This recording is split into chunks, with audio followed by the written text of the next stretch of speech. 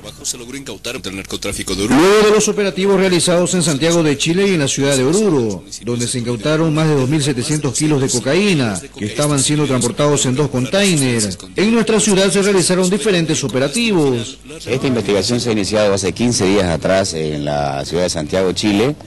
Eh, se han incautado la cantidad de 1.500 eh, kilogramos de droga que iba en un container con destino a Costa de Marfil.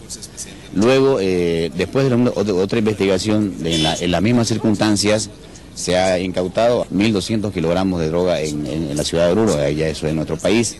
Y el día de hoy, precisamente también en las mismas circunstancias y del mismo modo operandi a través de, de empresas de transporte, también se ha eh, eh, secuestrado otro container el día de hoy. Continuando con la investigación, la Fiscalía Antinarcóticos allanó 17 viviendas entre casas particulares y empresas privadas tanto en la ciudad como en provincias del norte cruceño. Hay una organización internacional muy grande detrás de, esto, de estos embarques que se han sido enviados. No tenemos en este momento nosotros acá en nuestra ciudad aprendido, la información que tenemos es precisamente de, que lo que la que se ha generado desde Chile, pero sí valiosa información como la que hemos secuestrado hace un momento en, el barrio Patujú, donde hemos dado con la, empresa que sería una de las que le había transportado precisamente los containers. ¿La droga salió de Santa Cruz? Aparentemente sí, aparentemente sí. Eso lleva a arrojar la investigación.